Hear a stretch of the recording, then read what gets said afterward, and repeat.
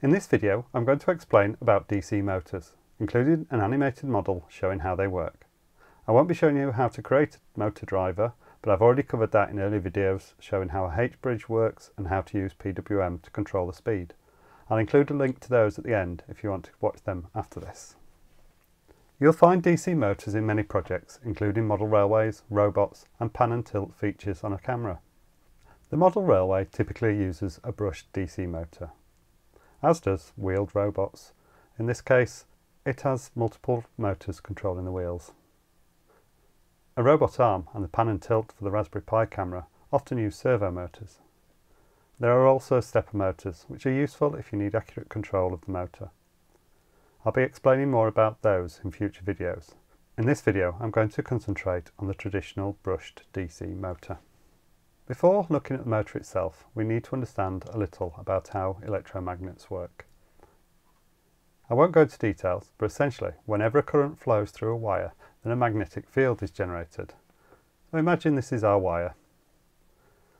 A DC current flows towards us with the distant end being positive and the near end negative.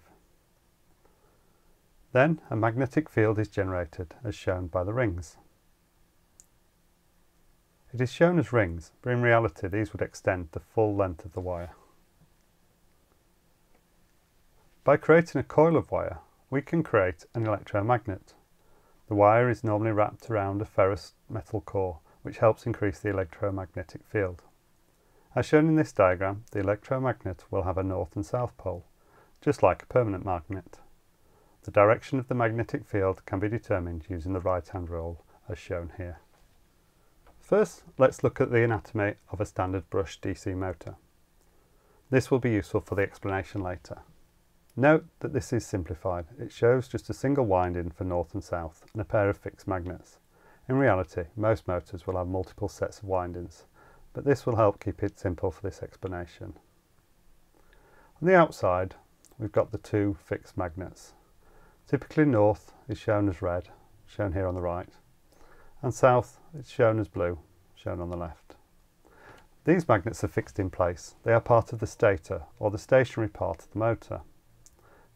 The central part is known as the armature, and this is the part that will turn. In this case, it's shown as what appears to be two sets of windings. In reality, this would be a single wire but it's shown in this way so that you can distinguish the north and south pole. The wires, which are these here, are connected to brushes and the brushes provide a way of connecting power to the rotating windings inside the motor but it also energises the appropriate windings as the motor turns. Here is a 2D version of that diagram, just showing the magnets. Opposite poles attract and like poles repel. So when the motor is powered on, the motor will start to rotate to the right. It will continue to rotate until the electromagnets of the armature line up with the magnetic fields of the stator. And thanks to the brushes, it will then change polarity of the armature windings so that it will then cause the motor to continue moving. Now, this is simplified and quite a basic example. In a real motor, there are often multiple sets of windings, making this much smoother. The motor will continue to turn around, trying to align the opposite poles. We're now back at the starting position, and so now the motor will continue to turn. This will continue to rotate in the same direction. If you wanted to reverse the direction, then you would reverse the polarity of the voltage, effectively reversing the polarity of the internal windings. To achieve this change in direction, then you need to change the polarity of the power reaching the motor. And this is best achieved using a H-bridge. I've already created a video which shows how to use a H-bridge circuit to change the direction of a model railway. See the links in the description for more details. To change the speed of the motor, you can increase the voltage. This increases the strength of the magnetic field, causing it to move faster. In the same way, decreasing the voltage will reduce the strength of the magnetic field and it will cause it to move slower.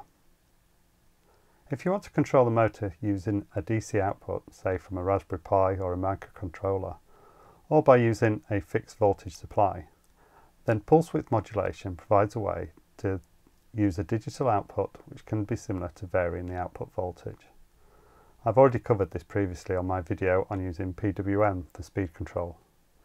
See the link in the description. There are other DC motors, including servo motors and stepper motors. These work on the same principles, but operate a bit differently, so I'll be looking at those in future videos. Thanks for watching. I hope you found this video useful. If so, please give it a like and don't forget to subscribe for future videos on electronics and maker projects.